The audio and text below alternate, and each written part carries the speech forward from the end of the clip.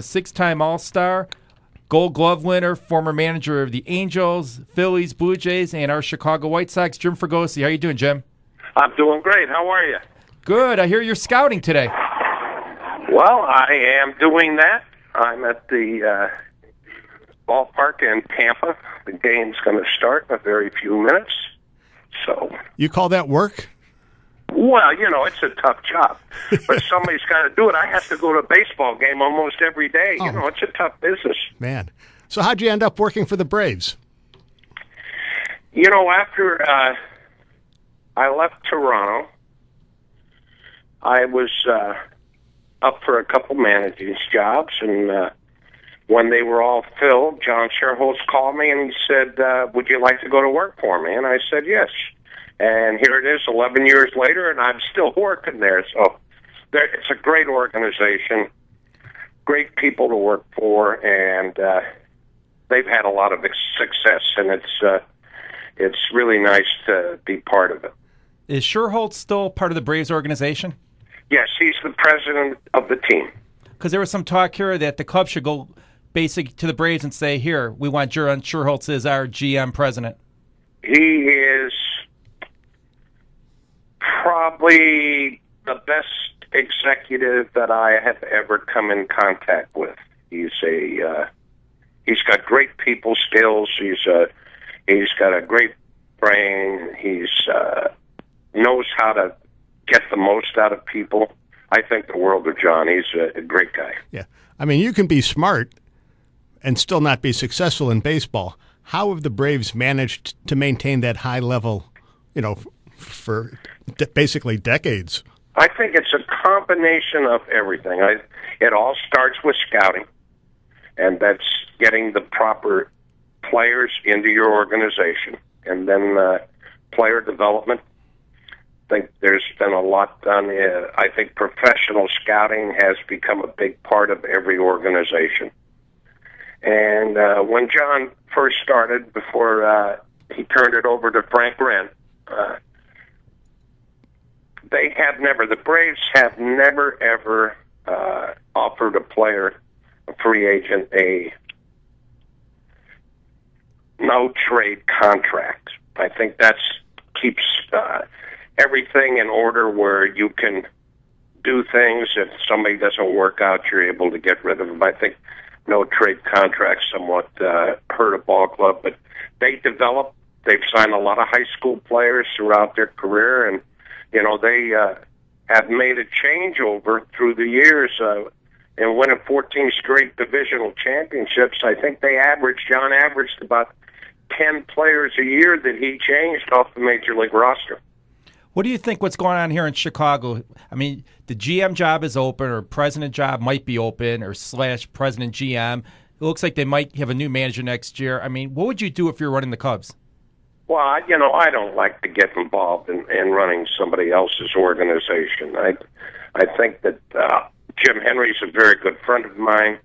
Uh, Mike Quade uh, was a AAA manager at Philadelphia when I managed uh, the Phillies. So, I mean, you know, I don't like to get involved in other people's uh, problems or how they're going to run things. Uh, but I, you know, Chicago Cubs is a great franchise. It's a great city, and you know they deserve a winner. As long as they don't bring Hawk Harrelson as their GM, I think we'll be in good shape. Now, a, a lot of teams are going to using metrics and all this uh, computer stuff. Moneyball. Are you, are you a guy who buys into Moneyball, or are you a guy who says, "I can see a player when I see him"? Well, see, when Moneyball started, uh, I think on the base percentage was invented before that. In 1993, managing the Phillies, we were first in on base percentage, at seventh in the National League in hitting with runs, runners in scoring position, but we still scored more runs than anybody in the National League or in baseball. So I think it is a combination of things. Everybody that I know of in this industry uses statistics as part of it. I think the view and the experience of the people that are watching the player have a lot to do with it. I think it's a plan that you make that you use everything that is available to you to be able to make the right decision. Our guest later on in the show, Roland Hemond, I mean, I don't think he knew about sabermetrics, and he was successful with multiple organizations, the White Sox, the Orioles, and I think baseball should get back to that and say, listen, you could look at a player and see if he's good or bad. You don't need all these stats. Well, you know, it's all part of the overall picture. I think it's important to know statistics about a player. I think it's the most important thing is knowing what makes the individual tick and how he is going to fit on your 25 man roster, how he's going to fit in your organization. Personality wise, how about how he goes about his business, what kind of player he is, how much of a teammate is he? I think all those things all come into the, the final decision. What John Schuerholz did and what Frank Wren does at Atlanta, he listens to his people and then he makes a final decision. As an advanced so, scout, are you able to find out what these players are like? I am really not an advanced scout. I am senior advisor player personnel. I see all 30 major league clubs play for strictly for trades and free agent signings. So I see everybody, and believe me, in this game, I've been around for 50 years. I know everybody. I know uh, people in the clubhouse. I know writers. I know coaches. I know managers. So part of my job is to learn and to know the personality of each player that we have made a decision that we might want to bring them in. For instance, I can give you an example.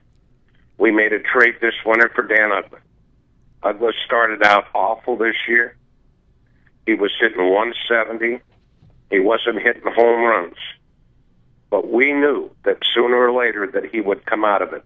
He never not ran a ball out. He always hustled and he always gave his all. Right now, he's got 30 home runs and the, the first second baseman in the history of the game to hit 30 plus home runs his first five years in the big leagues. So you got to know about the personality and the makeup of the individual.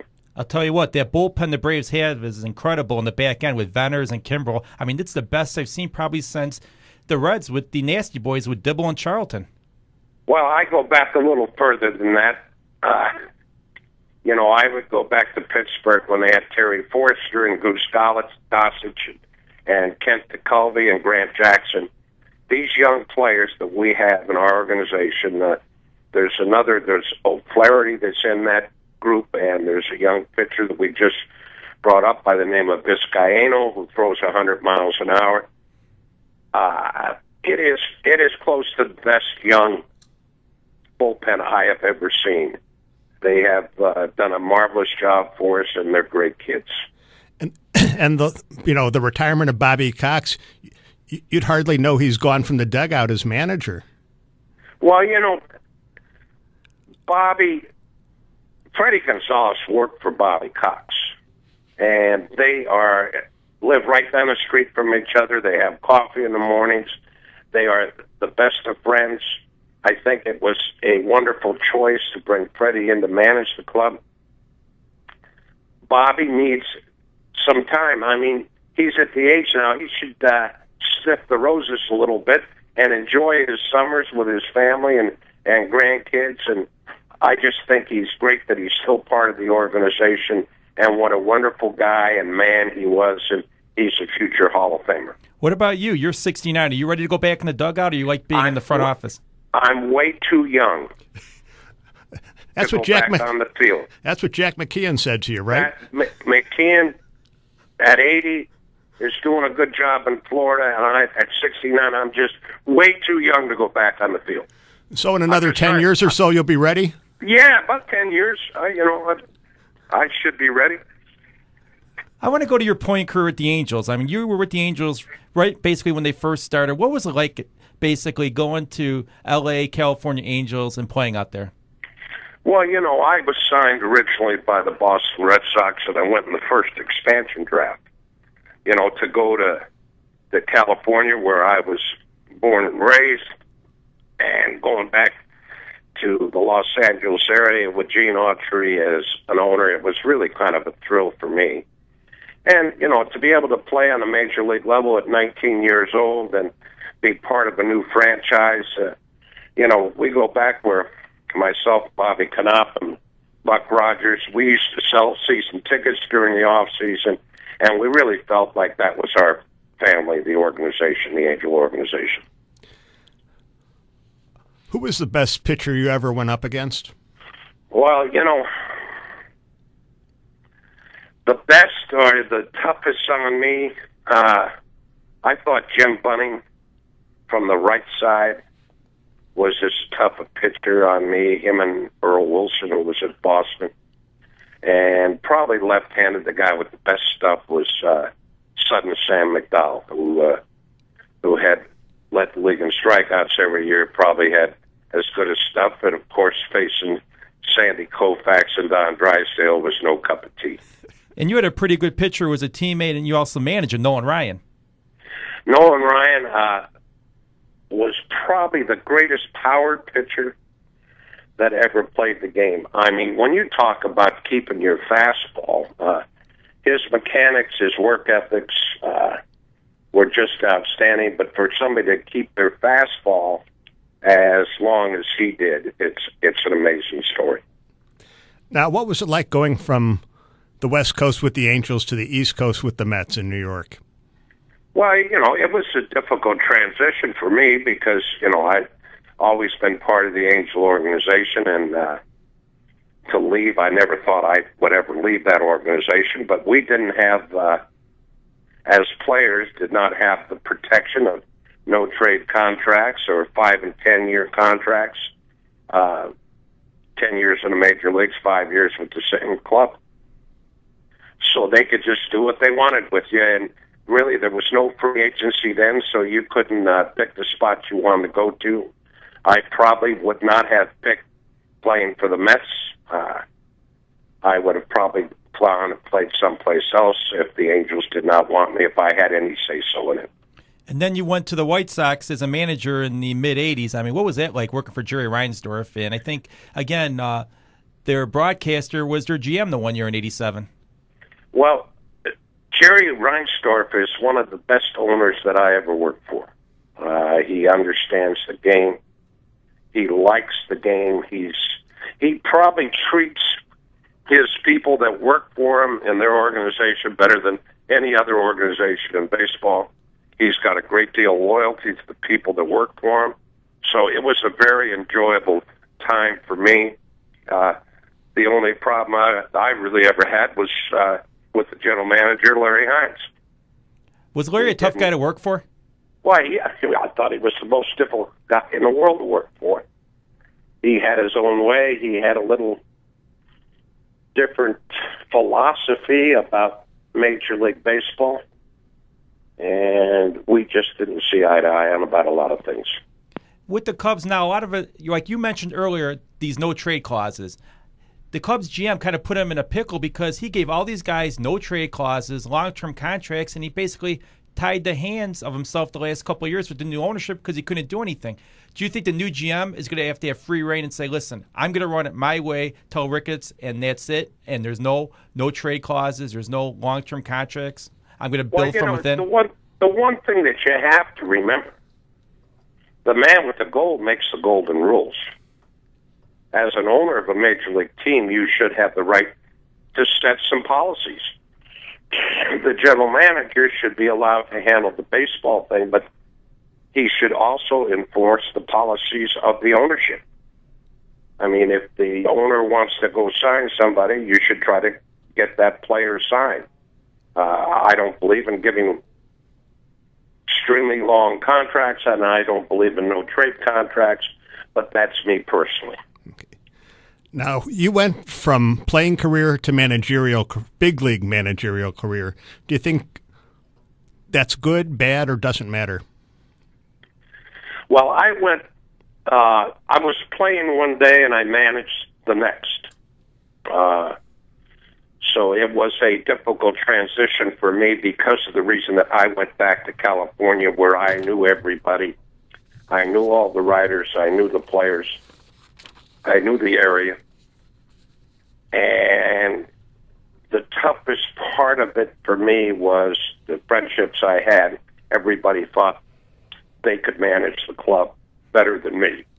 Uh, but I, after I left there and got fired by Buzzie Bavasi, I went back to the minor leagues and learned more about my profession as far as a manager is concerned.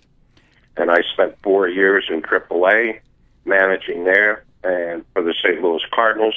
And I enjoyed that. And I learned about what it takes to manage and what it takes to handle people. And uh, really, Billy Reed, a, a writer for the Louisville Courier at that time, helped me as far as trying to uh, understand what the press's job is and how to handle those kind of things as far as Major League Baseball is concerned. A lot was made with Detroit when they hired Alan Trammell. Basically, he was a fan favorite. He failed with the Tigers, and in Chicago, they were afraid to hire Ryne Sandberg. Some people said because if he failed, you'd basically lose him from the organization. Well, they've lost him from the organization. He's managing AAA for the Phillies. So you don't think he'd come back and manage the Cubs if they offered it to him? Well, I'm certain if he, he wants to manage in the major leagues, he did a fine job at Des Moines. He's doing a fine job uh, at Lehigh Valley right now. Uh, so he deserves and probably will get an opportunity to manage very soon. The biggest travesty is that you're not in the Hall of Fame. I don't get it. Well, you know, it's a whole different thing that playing and managing basically on the West Coast. When I played, they didn't even have the box scores in the New York papers, so it was a definite advantage for somebody playing on on the East Coast as opposed to the West Coast. But I uh, I have been fortunate enough to have been in the game for fifty some years. Uh, as an old saying, the game's been very, very good to me. I have a great deal of loyalty to the people that I work for. I enjoy the game still, and I enjoy the camaraderie of the people on and off the field that I know in the American and National League. Thank you very much for your time, Mr. Fregosi. It was a pleasure talking to you. All right. Take care. Thanks. You, you too.